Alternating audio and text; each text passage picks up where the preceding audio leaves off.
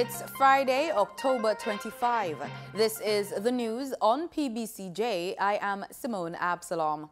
Jamaica has moved up four places in the World Bank's Doing Business report rankings. The 2020 report, released on Thursday, stated that Jamaica ranked at 71 out of 190 countries, moving from its 75th position of 2019. Jamaica had previously fallen in the rankings for three consecutive years. The island's best ranking is in the category of starting a business.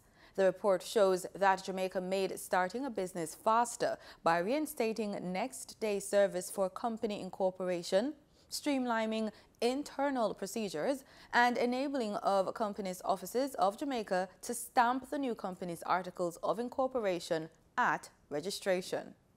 On the trade side, the document noted that Jamaica reduced the time for documentary compliance for importing by implementing a web-based customs data management platform, the ASYCUDA World. The revitalization of downtown Kingston is a priority of the government. To that end, two Spanish companies will be paid US $500,000 for a plan to redevelop sections of downtown Kingston. In a ministry paper tabled in Parliament Tuesday, the Andrew Holness-led administration disclosed that Cabinet approved a contract to undertake the exercise. The downtown Kingston and Port Royal redevelopment plan was prepared in 2013. Lecturers at the University of Technology, UTech, have reportedly taken industrial action. The executive committee of the UTech Jamaica Academic Staff Union has reportedly instructed its members to cease all work-related activities with immediate effect until the university provides outstanding retroactive payments due to its members at the end of October. The union has reportedly said there will be a complete withdrawal of service by its members until the retroactive payments are made. The Ministry of Energy is pushing ahead with plans to diversify the country's fuel mix with more renewable sources by 2030. Speaking at Parliament's Public Accounts Committee, Principal Director of Energy Fitzroy Vidal said the ministry believes it can accomplish a switch to green energy by targeting government entities which are the largest users of fuel. So what we're trying to do is to make sure that all the key stakeholders are at the table, part of this consultative process, and the technical working group that will be looking at all of these issues before we come to the point of a policy. As a matter of fact, is among the reasons why we have not gone straight to policy. We're developing a strategic framework, a framework to make sure that we understand all the issues, not just the buses, not just the charging stations requirement, not just the public fiscal arrangements that has to be put in place since you're moving from one fuel to another, which, will which has a potential of upsetting the, the fiscal regime. All those issues are part of the electric mobility strategic framework that we are assessing, and our commitment is to bring all the parties to the table. Prime Minister Andrew Holness says the Jamaican government has been following a comprehensive plan to move the island's health sector forward. He made the statement at the recent groundbreaking of the new Western Children Adolescent Hospital in Montego Bay. The Prime Minister said the more government invests in social services, the greater the development of human and social capital. The Children's Hospital is a gift from the People's Republic of China at a cost of US $43 million. It will be built on the grounds of the Cornwall Regional Hospital, which is under reconstruction. Mr. Holness noted the challenges being faced by hospital staff and patients. It is a sad state.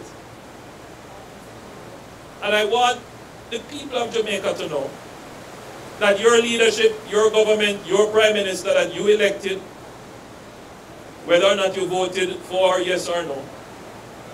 I'm still your prime minister. I want you to know that we are not running away from the problem. He said now that the country's debt has been reduced from 147% of GDP to 93%, there is some fiscal space to spend more on social services. We have a little more fiscal space and what are we doing with that fiscal space? We have used some of that through the Ministry of Health And commendations to the minister and his team for being agile in response. And we have built, I have seen the new facilities that you have built where all the diagnostics can take place. The new clinic facilities, the A&E that you have built, open since April. And you have built the necessary um, labs using containers so that you are still able, without a building, to deliver service. It may not be up to the service standard, the quality, but it is still life-saving.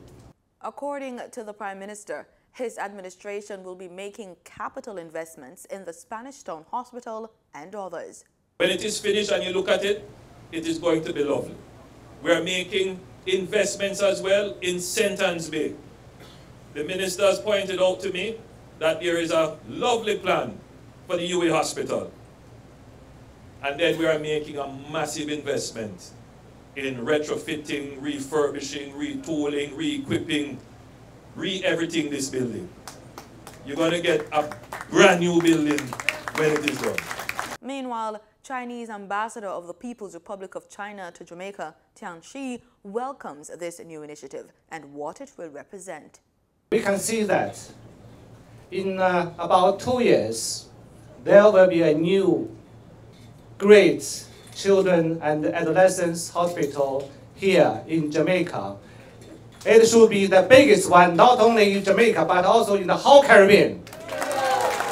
The new voter identification cards will be tamper-proof. Assistant Director of Elections in charge of Information Systems, Thesia Allison, says the cards will be issued by the Electoral Office of Jamaica, EOJ, during its National Voter ID renewal exercise in November. And those, those features are to be res are resistant to counterfeit, alterations, and other photo substitution. Mrs. Allison was speaking at a JIS think tank session. She explained that pre-printed cards will be produced by security printers overseas. She noted that the personalization of the card, like your name and address, will be added in Jamaica. According to Mrs. Allison, the EOJ has also procured a new card printer to facilitate laser engraving. The new cards is comparable, comparable to the specification standards of a national identification card. It's a polycarbonate card, which is a thermoplastic, which is highly receptive to laser engraving, which is what we'll be using on those new cards. Has a lifespan of 10 years, of at least 10 years, and it's the typical standard wallet-sized cards. The renewal exercise is slated to begin November 4. Holders of cards issued in 2015 and before are advised to visit any EOJ constituency office for voter ID renewal center to begin the process. Persons with cards issued between 2016 and 2019 do not have to visit an EOJ office as their cards will be reprinted and they will be notified when they're ready. For more information on the voter ID card renewal process, persons can contact the Electoral Office of Jamaica at 876-922-0425-9 or toll free at 1-888-991-VOTE. That's 1-888-991-8683 or visit the EOJ office island-wide. This week on Culinary Trails, we wend our way through the busy city streets of Halfway Tree and Crossroads, sipping on smoothies.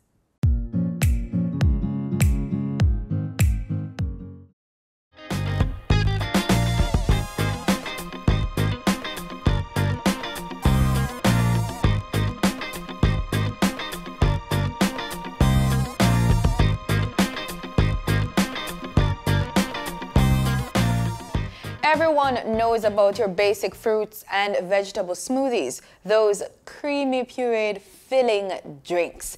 You can add an array of various spices, herbs, superfoods, and other health foods. The possibilities are endless. Hi, my name is Leonard Christian. I'm from Central Smoothie, and today I will be preparing um, a granola punch for you guys. In the granola punch, you get the protein powder, the granola mostly, oats, banana, and almond milk. Come on.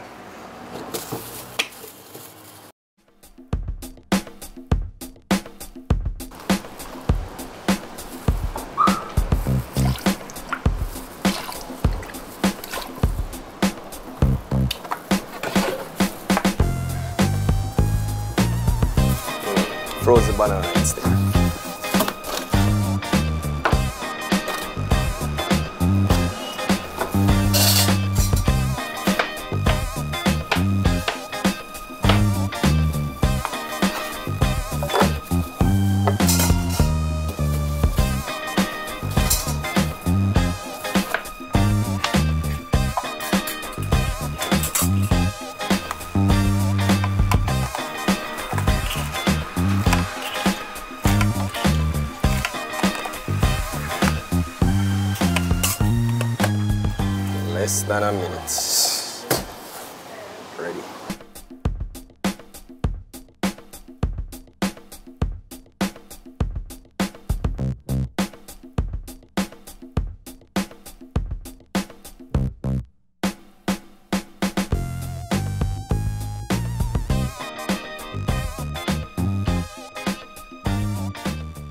Why should you drink smoothies? They're healthy. You'll get your daily allowance of fruits and vegetables. Also, they're quick and easy. Make your own nutrient-dense smoothie. It doesn't take as long as preparing most meals. It gives you time for other things. Today I'm going to do for you our special strawberry crush. That includes banana, pineapple, strawberry and protein. We'll be using the whey strawberry flavored protein today, orange juice, one banana.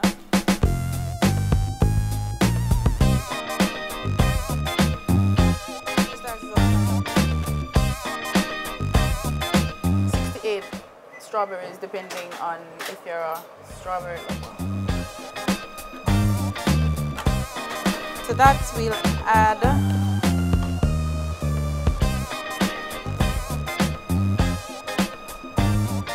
half a scoop of protein.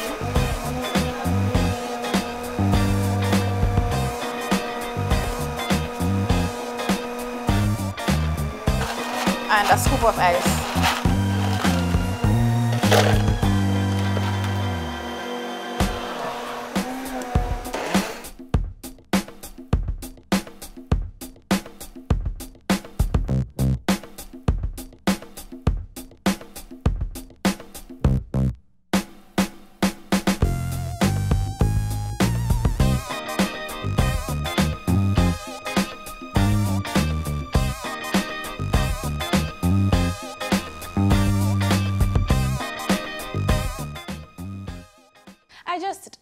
Love a good fruit smoothie. Let's see if Jamaicans are into the idea of thick blended fruits and veggies. So what's your favorite smoothie?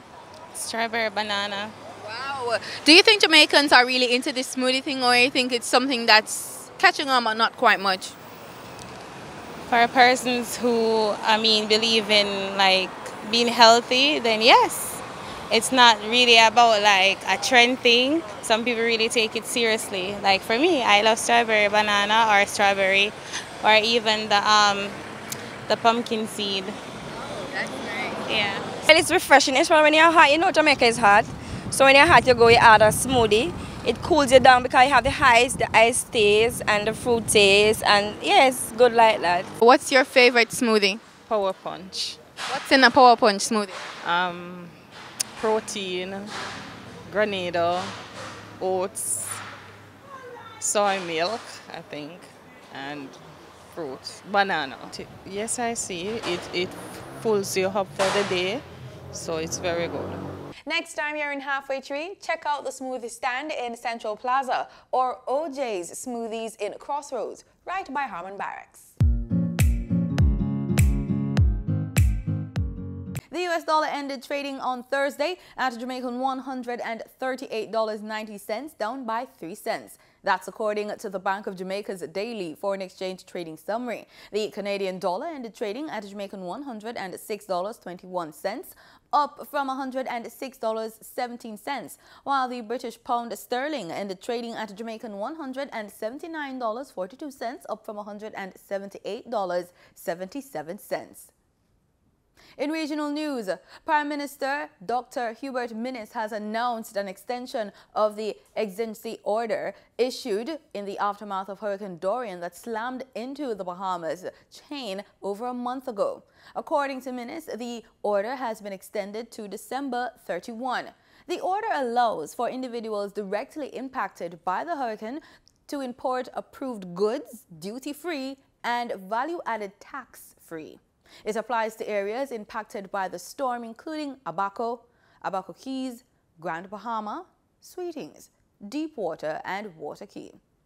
VAT on fuel for generators will also be waived for areas still without electricity. Mr. Minnis made the announcements in the House of Assembly during his wrap-up of the debate on amendments to the Disaster Preparedness and Response Act. In Guyana, there is uncertainty over whether the Alliance for Change party will remain in coalition with a Partnership for National Unity to contest the next general election in March 2020. This after the two parties failed to reach an agreement as to who will represent them as prime ministerial candidate. The AFC's treasurer, who's part of the party's negotiating team, told a press conference Thursday morning that he was not sure why the talks on the issue were being pushed back. I would prefer if um, someone else or if someone from their side could explain to you, the media, what their um, what their issues were with accepting our um, prime ministerial candidate. Because to be honest with you, it was not very clear to us on what basis um, the deferrals or the matter kept being deferred. The FC has decided that it will have current third Vice President Khemraj Ramjattan as the Prime Ministerial candidate, and there will be no change in that position. I would ask you why. We've already made a decision. We have internally had not had any discussions that points us in that direction and we don't accept that any other entity or any other party shall tell us or dictate to us who we should choose as our prime ministerial candidate. We're an independent party. We have made a decision, we have made a choice. Uh, why should we revisit that discussion? Why should we um, go back to our membership and say, let's, you know, have another decision? On what basis?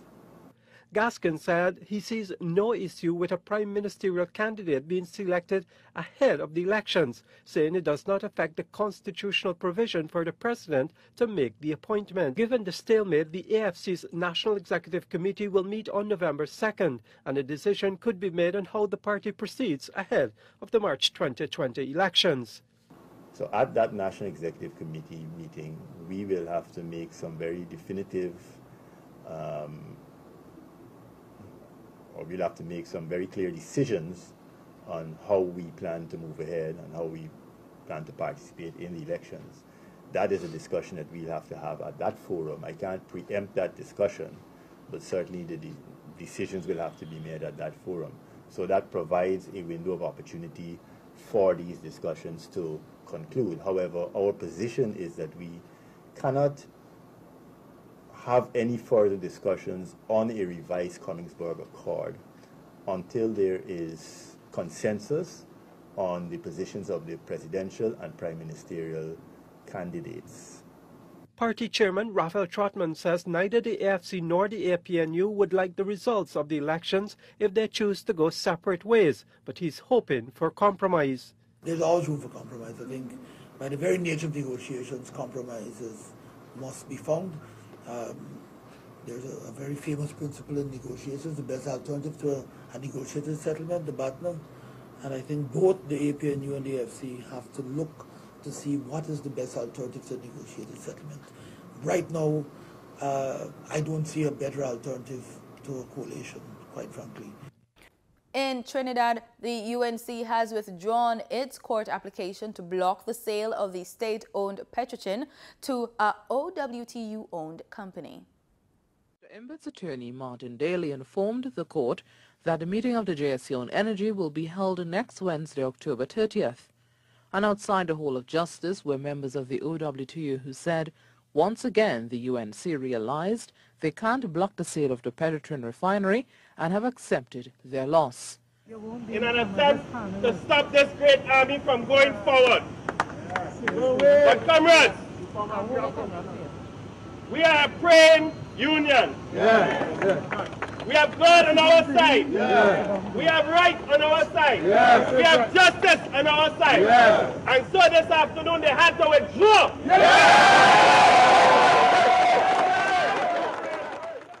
The OWTU executive likened the UNC's actions to that of something out of their political meetings. Was an attempt to turn the Hall of Justice into the Monday Night Forum. we are a strong and powerful union. We have journeyed long and hard. We have had to face many trials, many tribulations but we continue to be successful. In sports, Jamaica's Reggae Boyz has moved up in FIFA rankings and are now third in the CONCACAF region. This places the Reggae Boyz at 45th in the world. It also puts the boys behind Mexico, which tops the CONCACAF region, and the USA, which fell two places to 23rd in the world in second. The boys are currently one point away from sealing group honors and automatic qualification to the next CONCACAF World Cup tournament. They lead the four-team Group C with maximum 12 points, followed by Guyana and Antigua and Barbuda on 6 points, with Aruba pointless at the foot of the table. The competition continues next month with Jamaica up against Guyana at home and then away to Antigua and Barbuda for a few days later. And over on the pitch, West Indies Test captain Jason Holder is looking to make his mark in T20 cricket in the upcoming series against Afghanistan. Uh, Jason Holder has made his name in the longer format of the game over the past four years. He has become one of the world's leading cricketer. Cricket, and I'd probably ask for a bit of time off. You know, having played all the test matches, all the one-day games, um, it's been relentless in terms of the scheduling. So I mean, trying to find some time to rest, you know, is important. And, and I just felt the T20 arena was that on the international stage. But yeah, it's good to be back. Obviously, we're gearing towards a, a World Cup and uh, a World Cup defence. So yeah, I want to be a part of that. You know, I want to play a significant part in that. So this is the right place to start. And I think every test match is very, very important. Um, tests don't come easy, and uh, we know how hard we're going to work to play a test match. So this encounter against, against Afghanistan in their backyard will be very, very interesting. And I think the guys are really up for it, and you know I'm looking forward to the challenge. And it'd be good to finish off well on a personal note, and, and obviously on the team note as well. And that's the news on PBCJ. I'm Simone Absalom. Have a great weekend.